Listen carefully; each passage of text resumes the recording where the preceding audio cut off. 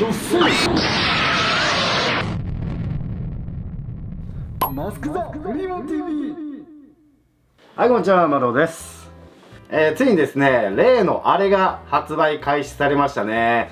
そう Mac Pro でございます、まあ、今年のね6月の WWDC で発表されて、まあ、秋にね発売ということなんですが、まあ、ちょっとずれ込んでねまあ、結局年末になっちゃいましたね。まあ、ファンとしてはね、いつか手にしてみたいモデルなんですけども、まあ、Mac Pro でね、えー、何すんねんっていう話なんですけどね。えー、僕にとってはね、もう完全にオーバースペックのマシンとなってるんですけども、まあ、今回はですね、モジュール型になって、そのユーザーがね、まあ、カスタマイズできるということで、まあ、昔のね、マッキントッシュはなんかそんな感じやったみたいなんですよ。僕使ったことないんですけどね。ですから、昔からのね、Mac ファンの方は、すごいね、歓喜してるモデルじゃないかなと思うんですけども、問題となるのはその価格ですよね。まあ、メモリが 1.5TB メモリですよ。ストレージじゃないですよ。メモリが 1.5TB ね。乗っけることができたりだとか。そのカスタマイズは豊富にできるんですけどもその分で金額もどえらいことになるというわけですよ。というわけでこの Mac Pro フルカスタムするとお値段一体いくら万円になるのかそして我々庶民に購入することはできるんでしょうか。ちょっと見ていきたいと思います。それではですね、Mac Pro、ちょっとね、カスタマイズして、まあ、購入できるんでしょうかね。どんなモデルになってるのか見ていきたいと思います。まず購入ページを開くとですね、はい、このようにタワー型と、まあ、ラック型、この2つ選択することができますね。ラック型はまだ発売されてないみたいですね。まあ、プレゼンの時に出たこういったね、タワー型のモデルがまず発売となってます。ではちょっとね、ドキドキのカスタマイズしていきましょう。それお値段なんですけど、吊るしの状態で599,800円。まず吊るしのね、内容なんですけども、3.5GHz の、えー、8コアインテル G4W プロセッサー。そしてメモリが 32GB。そしてグラフィックスが、えー、ラデオンプロ 580X。えー、VRAM8GB のモデルですね。そしてストレージが 256GB。これで締めて59万9800円となってます。まあ、これだけでもですね、iMac のフルカスタムのね、お値段を大きく超えるような感じですよね。正直ね、この価格帯だと買えないことはないんですよ。買おうと思ったら全然買えるんですけども、うん、このスペックだったら普通に iMac 買ってもね、そんなに変わらないと思うの。まあ、編集でね、ストレージ 256GB はちょっと使い物にならないですよね。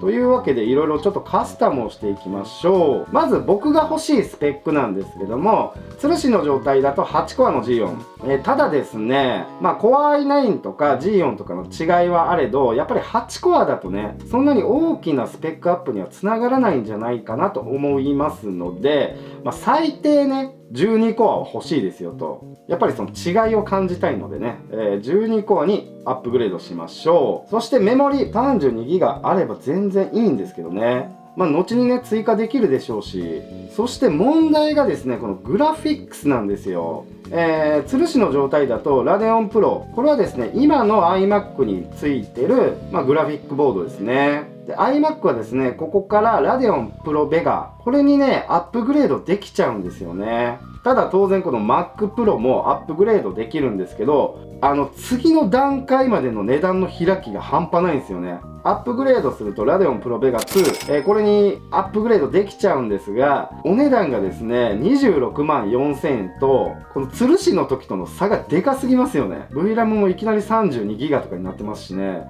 中間がないんですよ。このグラフィックを1つグレードアップさせるだけで26万4000円。MacBook Pro 買えちゃいますからね。グラフィックボード1個のアップグレードで MacBook Pro が買えちゃうっていうね。この中間はないんかいと。このグラフィックボード考えたらね iMac を買うのとそんなに変わんないなっていう感じがしちゃうんですよね。そしてストレージ。ストレージはまあ吊るしの状態で 256GB そもそも Mac Pro 買ってこのストレージが 256GB で使う人いるのかいっていう話なんですけどね。どうせやったらこの価格でね最低でも1テラつけてほしかったですよね。まあ動画編集だと1テラでもね、ちょっと頼りないので、まあ2テラバイトにしましょうと。これで8万8000アップですよ。まあ SSD は高いですからね。まあ仕方ないっちゃ仕方ないですけどね。で、こちら Afterburner。Afterburner って何ですかね。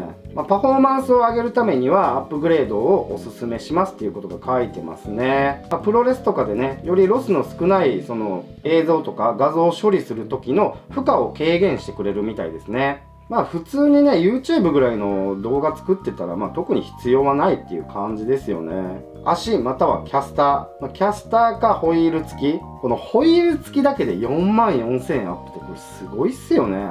この辺の金額は性能アップに当てたいよね。そして Magic Mouse または Magic Trackpad。もうこれね Magic Mouse もいらねえからちょっと値段引いてほしいよね。 Magic Mouse ね、使いづらくてほぼ使ってないんですわ。はい、というわけで、まあ最低でもね、欲しいのはここなんですけど、グラフィックなでもグラフィックボードもパワーアップしないと、あんまりね、違いを感じることができなさそうですしね。まあ、動画編集の時にレンダリング速度とか上がるとすごくね、快適になるかもしれないですけどね。まあ、グラボもちょっとアップしてみましょうか。はい。そして購入手続きに進むと、えー、これですよ。プロディスプレイ XDR32 インチ 6K、えー、標準ガラスで52万9800円ナノテクスチャーガラスで59万9800円。このアップグレードでもね 4K モニター変えちゃいますね。そして大きな批評のあったこちら、えー、スタンド。スタンドがですね10万6800円。これだけでめちゃくちゃいいね。モニター変えちゃいます。マウントのアダプターも別なの。え？マジか。えアダプター別？アダプターもたっけえな。2万1800円。モニターアーム買うとさらに金額どえらいことになりますね。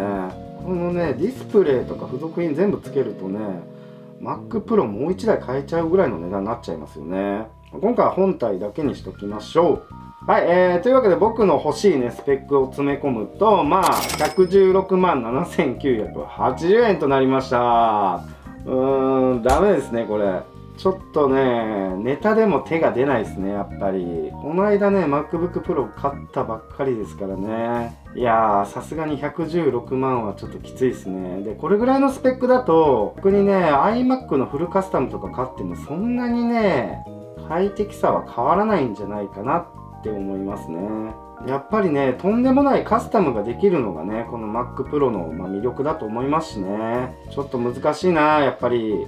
それではですね、禁断のフルカスタムのね、金額をちょっと見てみたいと思います。えー、まずプロセッサー。プロセッサーが28個はインテル G4W プロセッサー。これにカスタマイズすると、お値段が77万円アップ。そしてメモリ。メモリがですね、1.5TB のメモリ。ね、ストレージじゃないっすよ。1.5TB のメモリですからね。これでお値段がですね、275万円アップ。えー、そしてグラフィックボード、ラデオンプロベガ2デュオ、えー、×2 にアップグレードすると、お値段がですね、118万8000円アップ。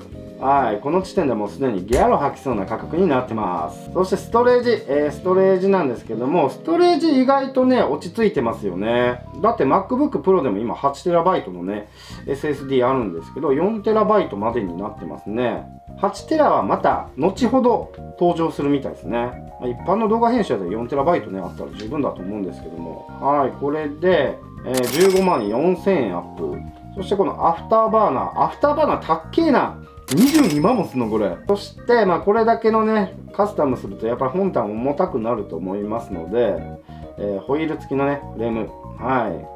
4万4000円。これぼったくりですね。えー、そして Magic Mouse と Magic Trackpad。はい、こちらにアップグレードしましょう。はい、これをね、バッグの中に叩き込んでみましょう。XDR ディスプレイも買っちゃおうかな。まスタンドもつけてね。まあ、ひょっとしてね、アームに付け替えるかもしれないから、 VESA のね、マウントアダプターも買っちゃいましょう。はい、このバッグに追加。高いんでね、 AppleCare もつけておきましょう。えー、Mac のね、 AppleCare が32,800円。そして、ディスプレイのね、 AppleCare が57,800円。ディスプレイの方が高えのかよ。高いのでね、えー、つけときましょう。まあ、 Thunderbolt もおまけでいるかな。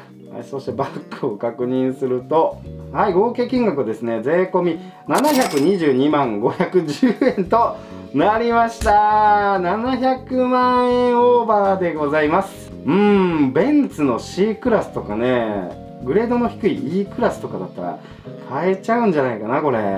いやーすごいですね。ほんと映像編集とかで、まあ、年間ね奥とか生み出す方にはすごいいいんじゃないかなと思いますけども。いやー恐ろしい。瀬戸さんはこれを買うのかな？というわけですね、ついに Mac Pro が販売開始されたということで、ディスプレイとね、本体もりもりにすると、ま700万円オーバーと。はいとてつもなくね夢のあるマシンになりましたね。やっぱりね庶民が手にするね非常にね厳しいマシンかなと思います。あとはですねここまでアップデートできるっていうのがまあ魅力なマシンなのでまあ吊るしの状態だとかちょっとねカスタマイズしたぐらいのモデルを買ったとしても、まあ、iMac とかのね最新とそんなにね大きな大差はないと思うんですよ。まあめちゃめちゃね作業が爆速になったっていうのはやっぱりある程度ねカスタマイズしていかないといけないと思いますのでうんただそこまでのねモデルはやっぱりね僕ら庶民はねちょっと手が出ないですね。オッパブ何回いけんだよっていう話ですよ。あとはですね、MacBook Pro 16インチ購入したばかりなので、結構ね、これ1台で今満足してるんですよ。まあ、非常にパワフルでどこでも作業ができるこの環境ね、非常に気に入っていて、まあ、そんなにね、Mac Pro の必要性を感じなくなってきたというか、16インチ購入する前はめっちゃ欲しかったんですけどね、もっとね、動画を頑張って、もっとチャンネルを大きくしてね、えー、来年検討したいと思います。リアルな話、確定申告でね、税金もがっぽり持っていかれますからね。コメント欄にですね、俺は買うぜって書かれてる方いらっしゃったので、えー、ぜひともね、使ってみた感想をコメント欄で教えていただきたいなと思います。お金にね、余裕がある方はぜひ検討してみてください。参考になりましたら高評価、チャンネル登録の方お願いいたします。それではまた次回の動画にも遊びに来てください。バイオッツ。